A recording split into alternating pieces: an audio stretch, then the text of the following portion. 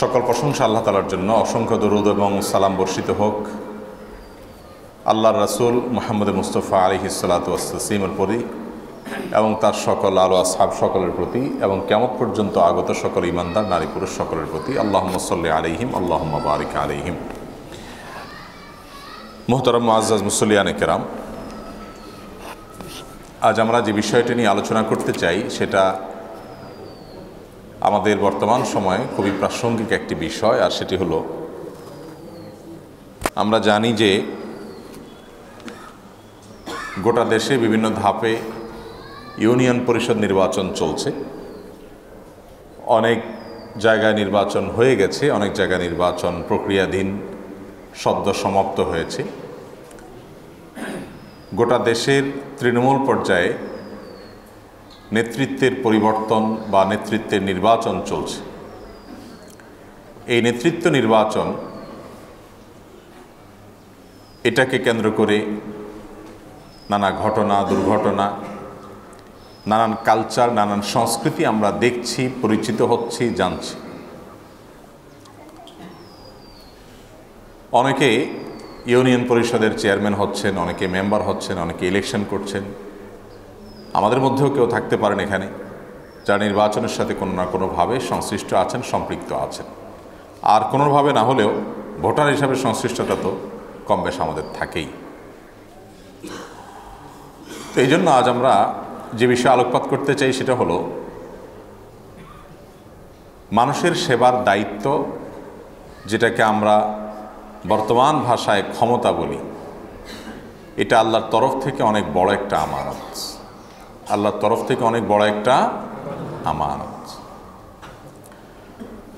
এই আমানত এবং এই দায়িত্ব, এটা স্বয়ং আল্লাহ তালা অর্পণ করে থাকেন।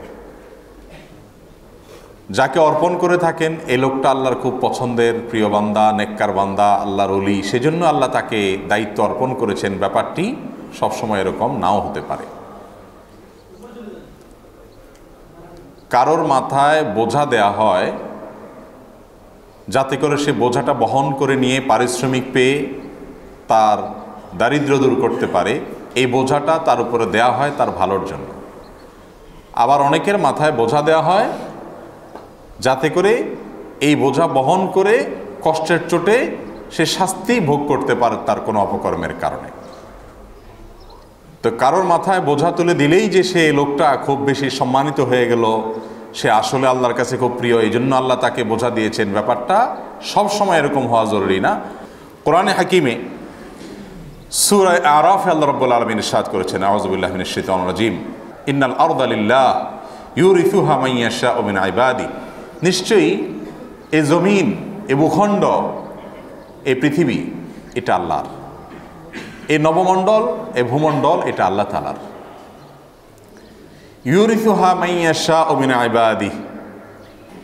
তিনি তার বান্দাদের মধ্য থেকে যাকে ইচ্ছা তাকে এটার দায়িত্ব দিয়ে থাকেন। কিন্তু ওই যে দায়িত্ব দেওয়ার ক্ষেত্রে সে দায়িত্ব দেওয়াটা কখনো কারোর জন্য নেয়ামত হতে পারে, কারোর জন্য সেটা আজাবের কারণ হতে পারে। কারোর জন্য সেটা আল্লাহর পক্ষ থেকে অনুগ্রহ হতে পারে, কারোর জন্য সেটা আল্লাহর পক্ষ থেকে তার পাপের পাল্লা ভারী করার উপায় ও মাধ্যম হতে এটা ভ্যারি করে ব্যক্তির কর্মের উপরে, ব্যক্তির চিন্তার উপরে, ব্যক্তির দর্শনের উপরে। যদি ভালো মানুষ হয়, তাহলে এটা আল্লাহর পক্ষ থেকে তার জন্য একটা সুযোগ, নেয়ামত।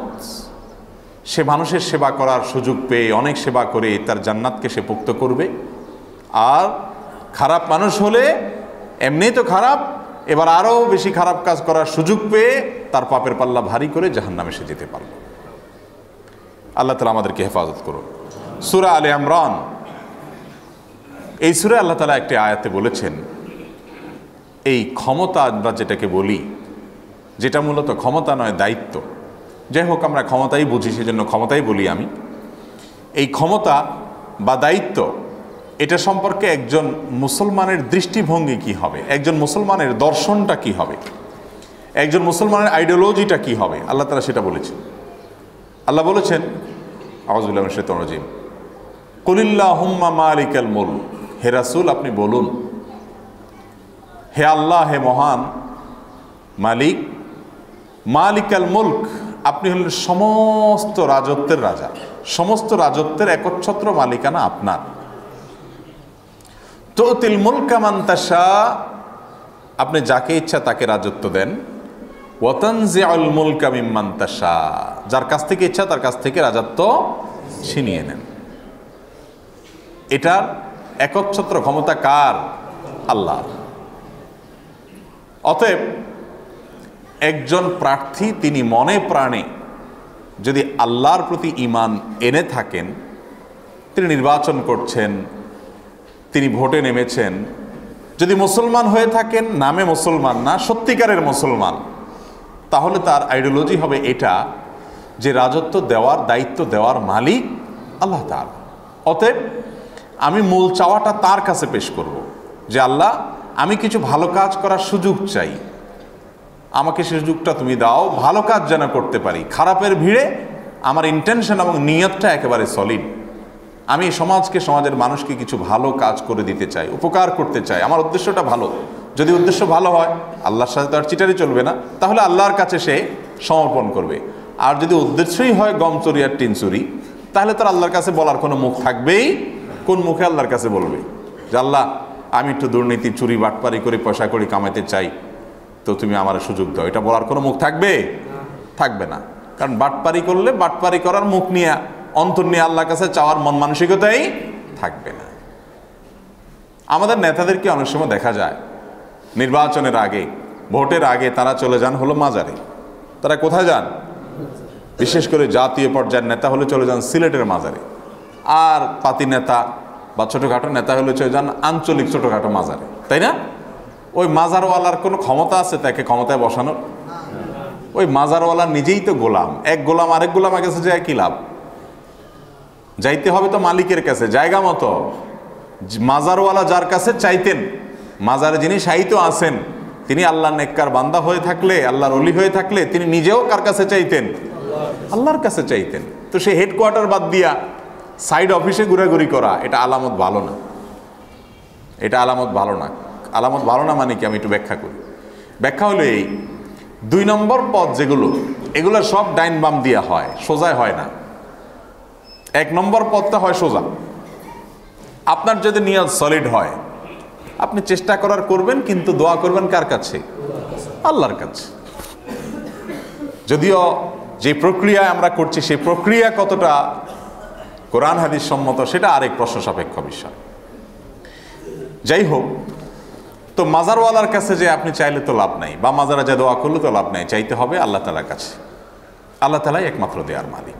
এটা হলো আইডিওলজিক্যাল বিষয় থিঙ্কিংয়ের বিষয়, বিশ্বাসের বিষয়, ইমানের বিষয়, দর্শনের বিষয়, যে আমার ধারণাটা কি হবে? অ্যাজ এ মুসলিম আমার ধারণা হবে যে এটা দেওয়ার একমাত্র মালিকানা কার? আল্লাহর, ক্ষমতাটা তার। অতএব তার কাছে ধর্ণা দিতে হবে। আর এই যে দায়িত্ব, এ দায়িত্ব শুধুমাত্র আজ ইউনিয়ন পরিষদ নির্বাচন হচ্ছে বলে তাদের কথাই আমরা বলছি, ব্যাপারটি সেরকম নয়। দায়িত্ব বিভিন্নভাবে হতে পারে। এই গণতান্ত্রিক প্রক্রিয়ার নির্বাচনকেই শুধুমাত্র দায়িত্ব গ্রহণ আমরা বোঝাচ্ছি না। আপনি একজন সরকারি কর্মকর্তা, একটা অফিসে দায়িত্ব পেয়েছেন। আপনি বিশেষ সেবা মানুষকে দিয়ে থাকেন, তাহলে আপনি একটা ক্ষমতা পেয়েছেন। ওই ইউনিয়ন পরিষদের চেয়ারম্যান সাহেব যেরকম একটা ক্ষমতা আছে, তার ক্ষমতার একটা পরিধি আছে। আপনাকেও আল্লাহ ক্ষমতা দিয়েছেন, এটার কি আছে? একটা পরিধি আছে। আর এই বিষয়টাকে নবী করিম সাল্লাহ সাল্লাম সৈব বুখারির হাদিসে ঐতিহাসিক একটি হাদিস, সুপ্রসিদ্ধ একটি হাদিসে তিনি ব্যক্ত করেছেন এভাবে, আলা কুল্লুকুম রায়ন তোমরা সবাই ক্ষমতাবান। আমাদের ভাষায়, তোমরা সবাই ক্ষমতাবান আর নবীজির ভাষায় কিন্তু ক্ষমতাবান না। রায়ন শব্দের অর্থ ক্ষমতাবান না। তিনি যে ভাষা ব্যবহার করেছেন, তার অর্থ দাঁড়ায়, আলা কুল্লুকুম রায়ন মনে রাখবে, তোমাদের সবাই, তোমাদের প্রত্যেকটা মানুষ, তোমরা সবাই রাখাল। রায় শব্দের অর্থ কি? রাখাল। নবীজি সাল্লা সাল্লাম এখানে রাখাল বলে আমাদেরকে ছোট করতে চান নাই। তিনি চেয়েছেন আমাদেরকে বোঝাতে যে মূলত তোমরা দায়িত্বশীল। এই দায়িত্বশীল মানুষটার ভূমিকা হবে রাখালের মতো। দায়িত্বশীল মানুষের ভূমিকা হবে কিসের মতো? রাখালের মতো। রাখাল যেরকম অনেকগুলো পশু দেখা রাখার দায়িত্ব তাকে দেয়া হয় বা অনেকগুলো প্রাণী রাখার দায়িত্ব দেয়া হয়, কোনোগুলো মানুষের অধীনে কাউকে রাখা হলো, কতগুলো মানুষকে কারোর অধীনে করে দেওয়া হলো, এই যে রাখাল দায়িত্বশীল, তার কাজ থাকে কি? যাদের রাখালি সে করে, যাদের দেখভাল সে করে, যাদের হেফাজত করা তার দায়িত্ব, যাদের খেদমত করা তার দায়িত্ব, যাদের খাবার দেওয়া তার দায়িত্ব, যাদের সব কিছু ঠিকঠাক রাখা যার দায়িত্ব, ওই ব্যক্তিকে বলা হয় রাখাল। সে রাখাল এই জন্য যে সে মালিক না। সে কি না? মালিক না। এখানে থিঙ্কিংয়ের বিষয় আছে। নবী করিম সাল্লাহ আলাইসাল্লামের যে দৃষ্টিভঙ্গি, সে দৃষ্টিভঙ্গিটা, তার যে আপনার দর্শনটা সেটা বোঝার চেষ্টা করতে হবে। তিনি আমাদেরকে বলছেন, তোমরা সবাই রাখাল। কারণ তুমি একজন তুমি একজন পরিবারের কর্তা। তোমার অধীনে তোমার স্ত্রী, সন্তান, পুত্র আছে, ছোট ভাই বোন আছে। তাহলে তুমি তাদের রাখাল। তুমি একজন ইউনিয়ন পরিষদের মেম্বার। তুমি তোমার ওয়ার্ডের এই মানুষগুলোর, এই এলাকার, এই অঞ্চলের তুমি রাখাল। তুমি একজন চেয়ারম্যান, ইউনিয়ন পরিষদের রাখাল। তুমি একটা দেশের পুরো ভূখণ্ডের দায়িত্বে আসো তোমার তুমি পুরো দেশের রাখাল। তুমি একটা থানার নিরাপত্তার, জননিরাপত্তার দায়িত্বে আছো, একজন ওসি পদমর্যাদায় আসো তুমি এই থানার রাখাল। রাখাল আর মালিকের মধ্যে পার্থক্য আছে না নেই? যখন দায়িত্বপ্রাপ্ত লোকেরা নিজেদেরকে মালিক মনে করবে, তখন জনগণ জলমের শিকার হবে শিকার হবে, অত্যাচারের, অবিচারের, এবং সেখান থেকে ভালো কিছু আসবে না। আর যখন আমাদের দায়িত্বশীলরা, আমাদের নেতৃবৃন্দ, আমাদের যারা দায়িত্বপ্রাপ্ত হয়েছেন বা হচ্ছেন, হবেন, তারা যদি নবী করিম সাল্লা সাল্লামের সেই শব্দটা মাথায় নিতে পারেন যে আমরা মালিক নই, আমরা রাখাল। মালিক তো আল্লাহ। মালিক কে? আল্লাহ। এই ওয়ার্ডের মালিকও আল্লাহ, এই ইউনিয়নের মালিকও আল্লাহ। আমি ওসি হয়েছি, আমার এই ওসিগিরির যে এরিয়া, এটার মালিকও আল্লাহ। এগুলো কোনো মানুষ না। প্রমাণ প্রমাণ আল্লাহ থেকে যায়, মানুষ চলে যায়। কীরকম মালিক যে আপনি কয়দিন পরে কবরে চলে গেছেন, আরেকজন বুঝে নিয়েছে তাহলে আপনি কেমন মালিক হলেন? এটা তো আসল মালিকানা না। এটা তো সাময়িক সময়ের ব্যবহার। রাখালের চাকরি যেরকম সীমিত সময়ের জন্য থাকে, মালিক নট করে দিলে নাই, শেষ আরেকজন নিয়োগ দেয়। ঠিক না ভাই? ঠিক। আল্লাহ রব্বুল আলমিন, তিনি একচ্ছত্র মালিক। গোটা ভূখণ্ডের, গোটা সৃষ্টি জগতের। যার কারণে কাউকে আল্লাহ তালা মন্ত্রী বানান, আবার সরায়া তার চেহারা আরেকজনকে বসান। ঠিক না ভাই? ঠিক। তো তিল মুলকা মান্তাসা ওতানজিয়াল মুলকা যাকে ইচ্ছা তাকে রাজত্বে বসান, যাকে ইচ্ছা তাকে সরাইয়া আরেকজনকে বসান। তাহলে নবী করিম সাল্লাহ সাল্লাম যে আমাদেরকে রাখাল বলেছেন, তিনি যথার্থ বলেন নাই? আমরা কি মালিক না রাখাল? মালিক যদি হতাম, তাহলে মালিক মানে তো আমার এটা, আমার আমার মালিকানা মানে পুরো একচ্ছত্র মালিকানা আমার। ইভেন আমরা আমাদের যে সম্পদের মালিকানার দাবি করতেছি এই জমিটা, আমার এটা, সেগুলো আসলে চূড়ান্ত অর্থে মালিকানা বলতে যেটা বোঝায় যে মালিকানা মানে তো আমার যা খুশি ত্যাগ করব এবং চিরকালের জন্য, মালিকানা তো ক্ষণস্থায়ী সময়ের জন্য হয় না। ক্ষণস্থায়ী সময়ের জন্য মালিকানা হয় নাকি? মালিকানা মানে তো স্থায়ী। তো এই জন্য এগুলোর কোনোটাই চূড়ান্ত এবং সত্যিকারের মালিকানা বলতে যেটা বোঝায়, সে অর্থে মালিকানা হতে পারে না, সীমিত সময়ের জন্য। আপনি মরে কবরে চলে আছেন আরেকজন দায়িত্ব বুঝে নিছে। আপনি কি মালিক হলেন? তাহলে বোঝা গেল এই যেই কবছর বেঁচে আছেন, এই কবছরের জন্য আপনার চাকরি। এমনকি মৃত্যু পর্যন্ত যে থাকবে, তারও গ্যারান্টি নেই, তার আগে বেদখল হয়ে যেতে পারে, আরেকজন নিয়ে যেতে পারে। ঠিক না ঠিক তাহলে আমরা কি মালিক না রাখাল? আমাদের দায়িত্বশীলরা দায়িত্বশীলরা বলতে শুধু নেতাদের দিকে আঙ্গুল দিয়েন না। আমরা প্রত্যেকেই নেতা, প্রত্যেকেই দায়িত্বশীল, প্রত্যেকেই ক্ষমতাবান।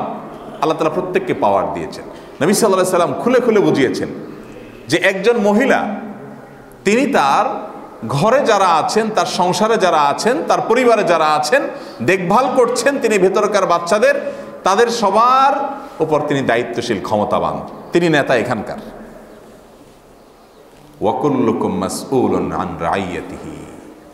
আর তোমাদের প্রত্যেককে তার নেতৃত্বের যে পরিধি, দায়িত্বের যে পরিধি, ক্ষমতার যে পরিধি, এই পরিধি সম্পর্কে কেয়ামতের ময়দানে চুলচুল করে পাই পাই করে জিজ্ঞাসাবাদ করা হবে। তুমি তোমার দায়িত্বের পরিধিকে কীভাবে পালন করেছ? নেতাগিরির জন্য লাফাচ্ছ? দায়িত্ব নেওয়ার জন্য ঘুষ দিচ্ছ? ঘুরে বেড়াচ্ছ? তদবির করছ? করো।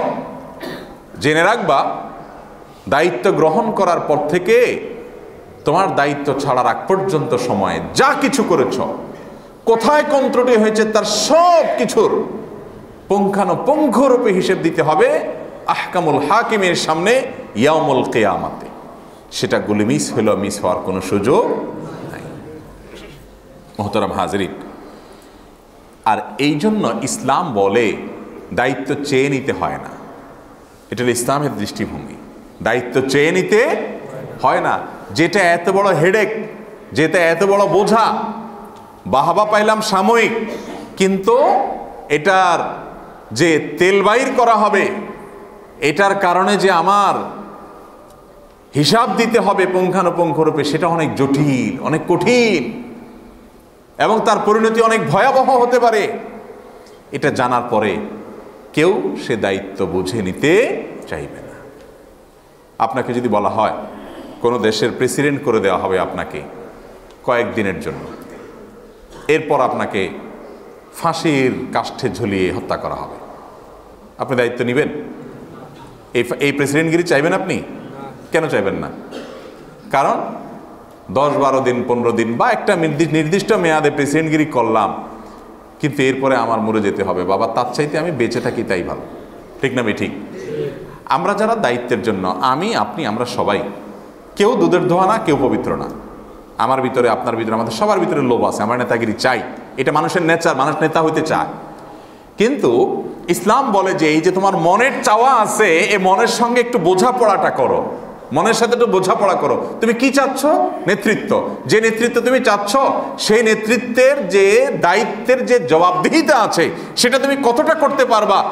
তুমি তো ওই দশ দিন প্রেসিডেন্টগিরি করে মৃত্যুদণ্ডপ্রাপ্ত আসামির মতো বা মৃত্যুদণ্ডপ্রাপ্ত ব্যক্তির মতো, তুমি তো সেই রকম জায়গায় যেতে পারো যদি তুমি দায়িত্ব অবহেলা করো। কতটা তোমাকে দিয়ে হবে? আগে সেটা তুমি নিজের সাথে বোঝাপড়া করো। এই জন্য নবী করিম সাল্লা সাল্লামের ঐতিহাসিক হাদিস, আজ আজ এ সমস্ত কথা আমাদের সমাজের আজকের বাস্তবতায় যখন মানুষ নেতাগিরি করার জন্য, লুণ্ঠন করার জন্য, মাতবরি সর্দারি করার জন্য পাগলের মতো মরিয়া আমরা সবাই, কি নামাজে, কি বেনামাজ নামে মুসলমানের যখন গোটা পৃথিবীতে পরিপূর্ণ, এই সময়টাতে সত্যিকার ইমান ইসলামটা আমাদের একটু জানা দরকার, বোঝা দরকার, নতুন করে আমাদের ইসলামটাকে ঝালাই করা দরকার। নবী সাল্লাহ সাল্লাম বলেছেন ইন্নালা আলা আমরিনামান তলাবাহ আমাদের দায়িত্ব, অর্থাৎ তিনি যখন মদিনা রাষ্ট্র গঠন করেছেন, বিভিন্ন দায়িত্ব বন্টন করছেন, দায়িত্বশীলদের দায়িত্ব দিচ্ছিলেন, তখন তিনি ঐতিহাসিক ঘোষণা দিয়েছেন। তিনি ইসলামের দর্শনটা আমাদেরকে জানিয়েছেন। তিনি বলেছেন, আমরা যে ব্যক্তি আমাদের কাছে দায়িত্ব চায় তাকে আমরা দায়িত্ব দেই না। আজকালকার যুগে যে গণতান্ত্রিক প্রক্রিয়ায়, নির্বাচনের যে সিস্টেম আছে, যে প্রার্থী দাঁড়ায়, শুধু দাঁড়ানো, এরপরে নিজের নামে নিজে পোস্টার বানায় অমুক ভাইয়ের চরিত্র, ফুলের মতো পবিত্র। হ্যাঁ? নিজের নামে নিজে পোস্টার বানাইতেছে, অমুক ভাইয়ের চরিত্র, ফুলের মতো পবিত্র। তো নবী করিম সাল্লাহ সাল্লাম বলেছেন কেউ যদি দায়িত্ব চায়, আমরা তাকে দেই না। তার কাছে এক ব্যক্তি এসে বলছি আসল্লাহ আমাকে অমুক এলাকার দায়িত্ব দেন। তখন তিনি বলেছেন, যে চায় তাকে আমরা দায়িত্ব প্রার্থী নিজে যদি নিজের ঢোল পিটাইতে থাকে এবং নিজের নিজে ভালো বলতে থাকে, তার অযোগ্যতার একটা বড় প্রমাণ এখানে হয়ে যায়। এটা ইসলামের দর্শন। সবসময় এটা জরুরি না, ব্যতিক্রমও আছে, আসতেছি সেই জায়গায়। এবং আব্দুর রহমান সামুরা রাজি আল্লাহ তালা আনহুকে নবী করিম সাল্লাহ সাল্লাম বলেছেন লাতাস আলিল এমারা তুমি কখনো দায়িত্ব, ক্ষমতা এগুলো চেয়ে নিবা না। এগুলো কখনো চেয়ে নিবা না। কেন? আলাতিন কারণ তুমি যদি দায়িত্ব চাওয়া ছাড়া পাও, তোমাকে দায়িত্ব দেয়া হয়েছে। আমাদের দেশেও এই যে নির্বাচন হয়, ইউনিয়ন পরিষদ নির্বাচন চলছে, অনেক এলাকাতে আছে, কেউ চেয়ারম্যান হতে চায় না, কিন্তু লোকটা আসলে ভালো হওয়ার কারণে, সৎ হওয়ার কারণে এলাকাবাসী তাকে আবদার করে আর্গমন করে, ভাই, আপনার দরকার নাই, কিন্তু তারপর একটা ভালো মানুষ আসুক, সেই জায়গা থেকে আমরা আপনার রিকোয়েস্ট করি। আপনি একটু দাঁড়ান, তাকে দাঁড় করায়। এরকম আছে না নেই? পরিমাণে কম থাকলেও আছে। আমি ব্যক্তিগতভাবেও জানি যে এই রকম ইউনিয়ন পরিষদে এই বছর নির্বাচনে আমি ব্যক্তিগতভাবে এক দুজনকে চিনি। আমার এলাকাতে আমি জানি এক দুজন চেয়ারম্যানের কথা এরকম। যে তারা চেয়ারম্যানি করার সময় নেই ব্যবসা বাণিজ্য করে, তারা গ্রামে থাকেও না, কিন্তু এলাকাবাসী অন্য লোকদের অত্যাচারে অতিষ্ঠ হয়ে, জলমের শিকার হয়ে, কিংবা অন্যদের চাইতে তাকে ভালো মনে করে নানাভাবে তাকে জোর করে ধরে দাঁড় করা এটা ভিন্ন কথা। এটা তো তাকে জোর করে মানুষ আর্গুমেন্ট করে দাঁড় করাইছে তো নবী সাল্লাহ সাল্লাম বলেছেন, তুমি যদি নিজে না চাও, তোমাকে দায়িত্ব যদি মানুষেরা দেয়, তাহলে সেক্ষেত্রে ওয়াইন তা আলাইহা, আল্লাহর পক্ষ থেকে তোমাকে সাহায্য করা হবে বিভিন্ন পদে পদে। তুমি আল্লাহর পক্ষ থেকে সাহায্য পাবা বিভিন্ন সময়। যদি মানুষ তোমাকে দায়িত্ব দেয়। আর ওয়াইন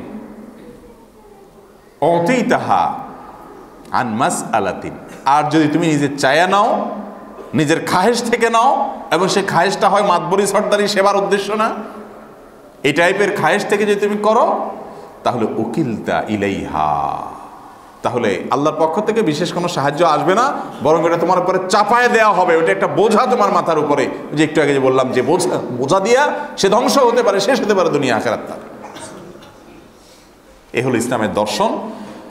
এই বিষয়ে, এবং আমরা দেখি এর ব্যতিক্রমও আছে, যেটা একটু আগে বলছিলাম।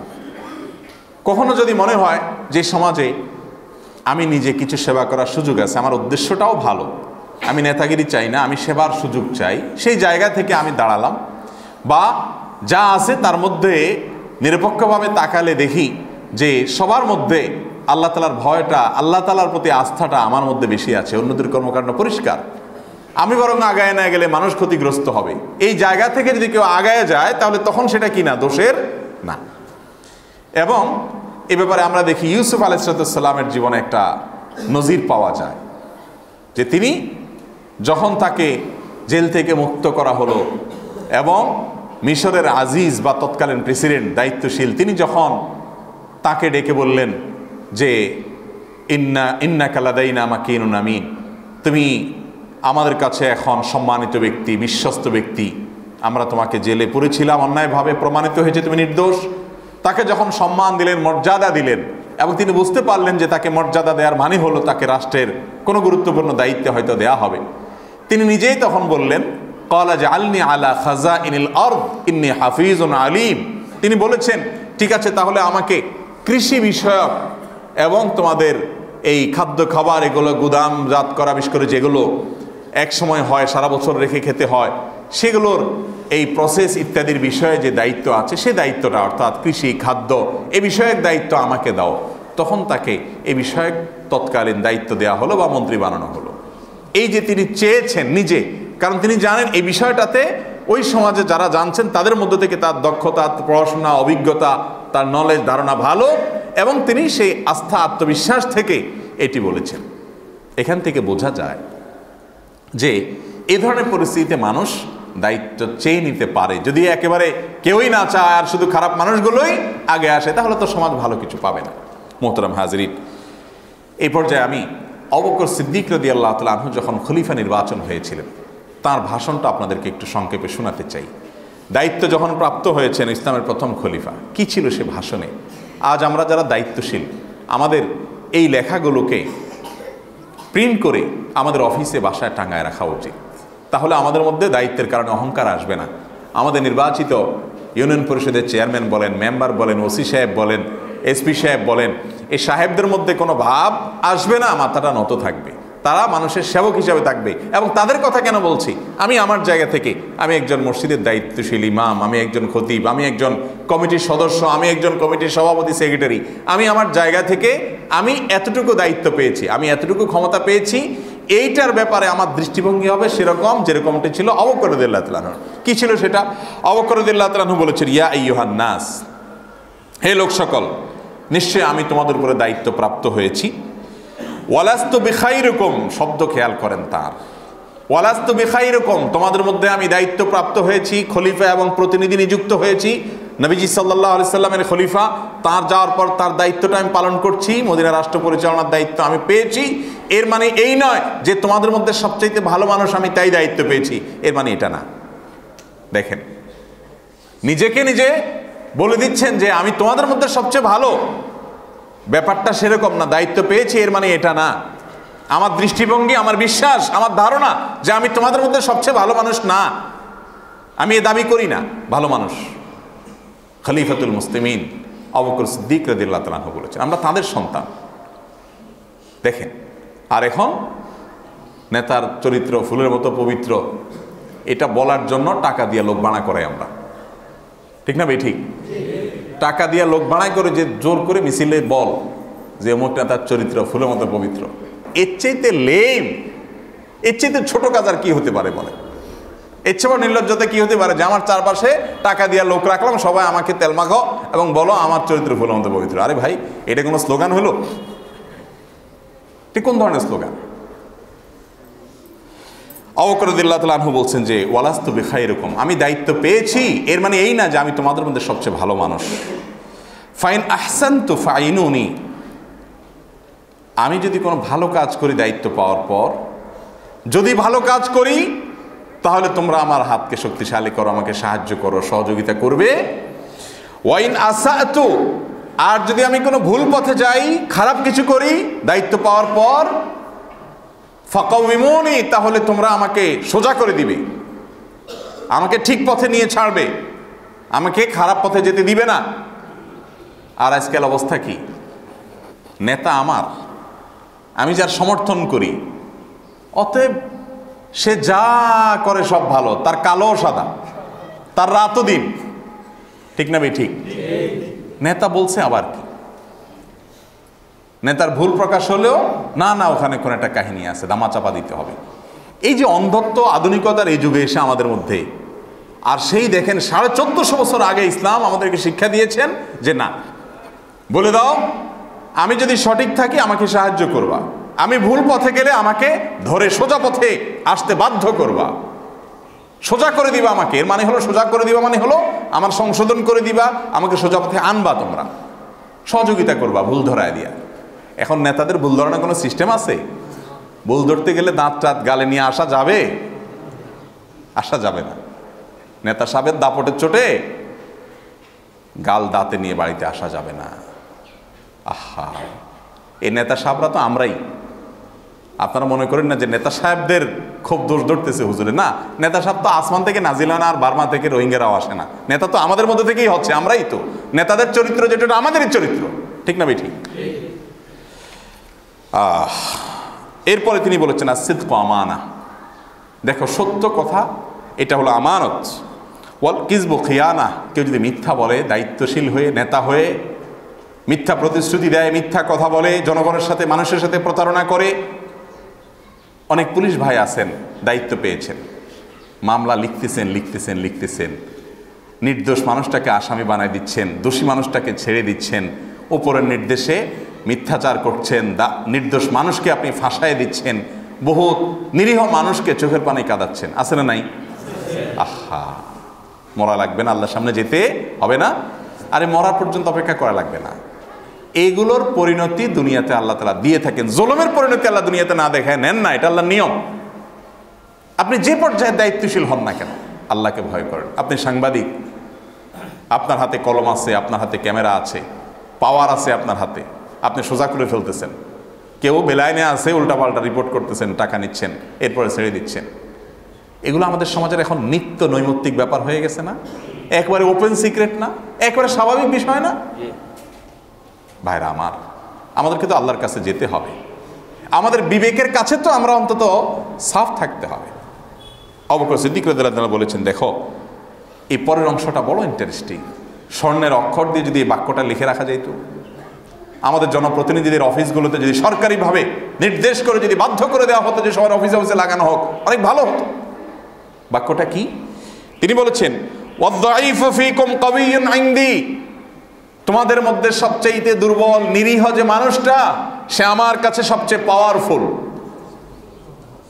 তোমাদের মধ্যে সবচাইতে নিরীহ যে, সবচেয়ে দুর্বল যে, সেই লোকটা আমার কাছে সবচাইতে পাওয়ারফুল কেন পাওয়ারফুল কারণ তার দরিদ্র হওয়ার কারণে, নিরীহ হওয়ার কারণে তার হক আছে, তার পাওনা আছে।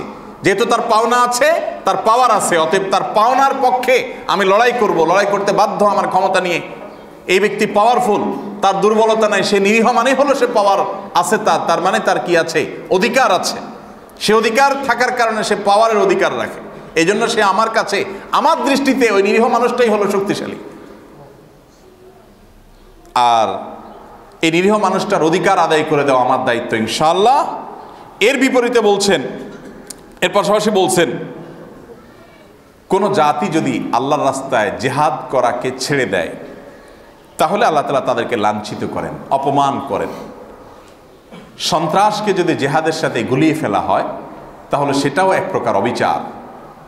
ইসলামের নামে সন্ত্রাস, নিরীহ মানুষ হত্যা, বোমাবাজি, এগুলো যেরকম ইসলামে হারাম এগুলো যেরকম ফাসাদ ফিল আর্থ ইসলামের সবচেয়ে ডেঞ্জারাস শাস্তি যেটা, ফাসাদ ফিল আর্থের কারণে, সেটা ইসলামের নামে এই জঙ্গিবাদ বলেন, সন্ত্রাসবাদ বলেন, সেটার কারণে। কিন্তু এর মানে এই জঙ্গিবাদ, সন্ত্রাসবাদের জিকির করতে করতে আবার ইসলামের সুমহান ফরজ বিধান, জেহাদ সম্পর্কে যদি আপনার মনে ভিতরে বিতৃষ্ণা আসে যে জেহাদটা আবার কি, তাহলে আপনার ইমানই নেই। কথাকে বুঝাতে পারছি? জেহাদ আল্লাহ তালার ফরজ বিধান। যেমন ইংরেজদের থেকে দেশকে মুক্ত করার জন্য জেহাদের প্রয়োজন হয়েছিল লামা একরাম ঘোষণা দিয়েছেন। বিভিন্ন সময়ে সময় এরকম ঘোষণা আসে, আসবে। যাই হোক, এর পরের অংশটা বলছেন ওলা তাশি অলফা হেসাতু ফি কমিন কত্তু। আর কোনো জাতির মধ্যে যদি অশ্লীলতা ছড়িয়ে পড়ে, তাহলে তাদের মধ্যে নানা রকমের রোগবালাই, দুর্ভিক্ষ, নানা রকমের বিপদ আপদ গণহারে আল্লাহর পক্ষ থেকে গজব হিসাবে আসে। আগের অংশটা রয়ে গেছে ওই যে দুর্বল লোকটা আমার কাছে শক্তিশালী শক্তিশালী। এর পরের অংশ হলো, ওয়াল কবি ফিকুম দাইফ তোমাদের মধ্যে যার ক্ষমতা আছে খুব বেশি দাপট দেখায়, মাস্তান কিসিমের, গোয়ার কিসিমের। এই লোকটাকে আবকরাদা বলছেন যে, এই লোকটা আমার কাছে সবচাইতে ভেড়ার মতো থাকবে। আমার দরবারে, আমার ক্ষমতায়, আমার দায়িত্বে যতদিন আমি আসি ততদিন এই লোকটা হলো আমার এই দায়িত্বে সবচেয়ে দুর্বল মানুষ। তার কোনো কথা নাই। কারণ তার গায়ের জোর আছে, সে দাপট দেখায় এই জন্য সে আমার কাছে মাথা নিচু করে থাকবে। সে কোনো পাওয়ার দেখাতে পারবে না আমার ক্ষমতায়, আমার দায়িত্বে। দৃষ্টিভঙ্গি দেখছেন? আর আজকের অবস্থা কি বলেন? হুবহু এর বিপরীত। আজকালকার নেতারা মুখ দিয়ে না বললে কি হলে? হাবভাবটা এরকমই। নেতারা কেন? সব পর্যায়ে দায়িত্বশীল। সব পর্যায়ে দায়িত্বশীল। মসজিদের ইমাম বলেন, খতিব সাহেব বলেন, কমিটির দায়িত্বশীলরা বলেন, ওসি সাহেব বলেন, এসপি সাহেব বলেন তারপরে আপনার কোনো একটা সোসাইটির দায়িত্বশীল বলেন, যেই বলেন না কেন, আমাদের অবস্থা হলো এখন এরকম, যার পয়সা করি আছে, সে আমার কাছে খুব প্রভাবশালী, তাই না? যার গায়ের জোর আছে, সে আমার কাছে খুব প্রভাবশালী। আর যে বেচারা নিরীহ দুর্বল, তারা গণার টাইম আমাদের নেই। আল্লাহ তালা আমাদের চরিত্রগুলোকে সংশোধন করার তৌফিক দান করুন।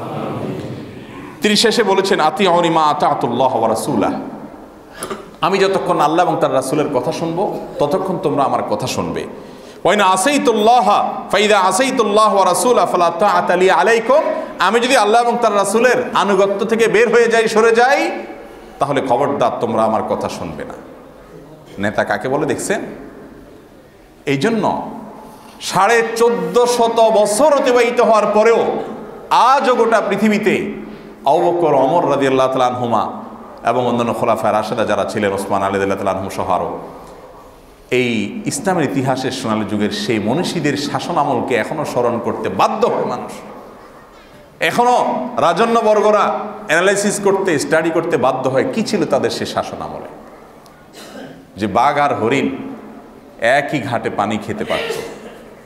এরকম একটা পরিবেশ তারা করতে পেরেছিলেন। অ্যাবসুলেট জাস্টিস তারা করতে পেরেছেন। নবী করিম সাল্লা সাল্লামের দায়িত্ব পাওয়ার পরের কথা তো আর বললামই না। মদিনাতে দায়িত্ব পাওয়ার পরে কি করেছেন দেখেন? ইয়াহুদিরা, অন্য ধর্মের মানুষ, অন্য জায়গা থেকে এসে বসতি গেড়েছে। তাদের সাথে মৈত্রী চুক্তি করেছেন, সম্প্রীতি চুক্তি করেছেন। কেউ একজন অন্যায় করেছে, মুনাফেক। নামদারি মুসলমান। নবীজি সাল্লাহ সাল্লামের কাছে যদি আসতো এরকম লোকদের জন্য তিনি যে আমার পরিমাণ আনছে বা মুসলমান। আর বিবাদী যিনি, তিনি হয়তো অন্য ধর্মের, তাহলে তার প্রতি একটু আমি ইনজাস্টিস করি না। এই শিক্ষা নবী সাল্লাম জীবনে ছিল না। অ্যাবসুলেট জাস্টিস তিনি করে ছেড়েছেন। যার কারণে কি হয়েছে? দল, মত, ধর্ম, বর্ণ নির্বিশেষে সবাই তার দায়িত্ব মেনে নিয়েছে। আল্লাহ তালা আমাদের নেতাদেরকে এরকম হওয়ার তফিক দান করুন। ইউনিয়ন পরিষদে যারা নির্বাচিত হয়েছেন, তাদেরকে অভিনন্দন। তারা যেন রসুল করিম সাল্লাহ সাল্লাম যেভাবে আমাদেরকে সততার এবং যেভাবে আমাদেরকে এই ক্ষেত্রে দৃষ্টিভঙ্গি লালন করার কথা বলেছেন, আমরা যেন সেভাবে লালন করতে পারি। আল্লাহ তালা আমাদের দায়িত্বশীলদের সেই তৌফিক দান করুন। কেয়ামতের ময়দানে মানুষ যারা মানুষের সাথে প্রতিশ্রুতি খেলাফ করে, এরা সবাই উঠবে। নবী সাল্লাহ সাল্লাম একটা হাদিস আছে জনগণের দায়িত্বশীল যারা হবেন, মানুষের দায়িত্বশীল যারা হবেন, এদের মধ্যে কেউ যদি জনগণের সাথে মিথ্যা প্রতিশ্রুতি দিয়ে ক্ষমতায় আসে, দায়িত্ব নেয় বা মিথ্যা ওয়াদা করে, দুনিয়াতে যত মানুষ ওয়াদা খেরাপ করে, এদেরকে বলা হয় গাদ্দার, হাদিসের বাসায় গাদ্দার, গাদের। কেয়ামতের ময়দানে যে যে ওয়াদা খেলাপ করেছে, মানুষের সাথে কারোর সাথে বেইমানি করেছে, কাউকে প্রতারণা করেছে, মিথ্যা প্রতিশ্রুতি দিয়েছে, এদের প্রত্যেকের পিঠে একটা করে পতাকা থাকবে, ওই পতাকা লেখা থাকবে এটা গাদ্দার। গোটা পৃথিবীর সৃষ্টি জগতের সমস্ত মানুষের সামনে গাদ্দারদের ঘাড়ে পতাকা থাকবে একটা, লেখা থাকবে গাদ্দার। অটোমেটিক এটা একেবারে তার শরীরের সাথে ফিট করে দেওয়া হবে। আর জনগণের দায়িত্বশীল যারা হবে, তাদের সাথে থাকা পতাকাটা হবে অনেক বড়। দীর্ঘ পথ থেকে মানুষ দেখতে পারবে, কারণ পুরো এলাকার বড় দায়িত্বশীল ছিলেন। নেতা যত বড়, তার ফ্ল্যাগ তত বড়। লেখা থাকবে গাদ্দার এটা। প্রতিশ্রুতি রক্ষা ভঙ্গ করেছে। ভাইরা আমার শুধুমাত্র তারা নয়, আমরা কেউ সরকারি, বেসরকারি কোনো দায়িত্ব পাইলে। দায়িত্ব পাইলে মানে ক্ষমতায়। আমি একটা চেয়ারে বসছি মানে হলো আমার যা যা করার আছে এবার। মোচে তাও দিয়া বসে এবার আমরা। কত রকমের অত্যাচার করা যায়, নিষ্পেষণ করা যায়, ফাইল আটকানো যায়, জোর করা যায়, টাকা কামাই করা যায়। আবার অনেকে নামাজও পড়ে। আছে না নাই এই নাটক? এ নাটক আমাদের সমাজে আছে। ভাই রে সবচেয়ে বড় সততার সবচেয়ে বড় ভালো মুসলমান তো সে। যে এই জায়গায় এসে ভালো মুসলমান পরিচয় দিতে পারে। আমার মতো মৌলবী রাতকে রাত তাহাজ্জুদের নামাজ পড়ে, রাতকে রাত তেলাওয়াত, তাজবি করে, দিনকে দিন নফল রোজা করে, যেই সোয়াব না পাইতে পারে, একজন পুলিশের এসআই, একজন সাধারণ দায়িত্বশীল মানুষ, একটা ছোট চেয়ারে পাওয়া মানুষ, সে যদি তার জায়গা থেকে জাস্টিস করে, তার ক্ষমতার মধ্যে থেকে যে আমার জ্ঞাতসারে আমি কোনো অন্যায় হতে দিব না। আল্লাহর কসম, ওই ব্যক্তি আল্লাহর কাছে অনেক বড় ইবাদত গুজার চাই। কিন্তু আমাদের সমাজে এই সুযোগটাকে আমরা দুর্যোগ হিসাবে ব্যবহার করি, সুযোগ হিসাবে গ্রহণ করি না। জনগণের টাকা চুরি করা আর একক কোনো ব্যক্তির টাকা চুরি করা এক জিনিস না। জনগণের অধিকার নষ্ট করা, একক ব্যক্তির অধিকার নষ্ট এমনি একজন ব্যক্তির অধিকার নষ্ট করলে বান্দার হক নষ্টের কারণে কি আমাদের আটকে থাকতে হবে। যত আমল নিয়ে যান, কাজ হবে না। সেখানে বিশাল বড় জনগোষ্ঠীর দায়িত্বশীল। সেখানে যদি কোনো তসরুপ করেন, এই তসরুপের সাথে ইউনিয়ন পরিষদ হলে পুরো ইউনিয়ন মানুষের অধিকার, দেশের হলে গোটা দেশের সমস্ত জনগণের অধিকার, এত মানুষ বিবাদী হবে কি আমাদের বাদী হবে কি আমাদের দিন, তাদের বিরুদ্ধে কীভাবে লড়বেন আপনি রক্ষার কোনো উপায় হবে? এই জন্য রসিকতা করে কোনো একজন আলেম বলেছিলেন, কেয়ামতের ময়দানে যদি দেখো তোমরা কোথাও জটলা পড়ে গেছে, কাউকে ঘিরে অনেক মানুষ ধরে আছে, তাহলে বুঝবা যে কোনো নেতা ধরা খাইছে। সেই নেতা রাজনৈতিক নেতা হতে পারে, সেই নেতা কোনো মাদ্রাসার প্রিন্সিপাল মোহতামম সাহেব হতে পারে, দুর্নীতি করলে যে কেউ হতে পারে। আল্লাহ তালা আমাদেরকে সৎভাবে আমাদের জীবনযাপন করার তৌফিক দান করুন এবং আমরা যে যে দায়িত্ব পালন করব, যে যেখানে থাকব, ইনসাফ প্রতিষ্ঠার চেষ্টা করব। আল্লাহ আমাকে, আপনাকে, আমাদের সবাইকে আমরা তৌফিক দান করুন। জেজাকমুল্লাহ খেরা ওয়াখরুদা আলহামদুলিল্লাহ রবিল্লা আলমিন।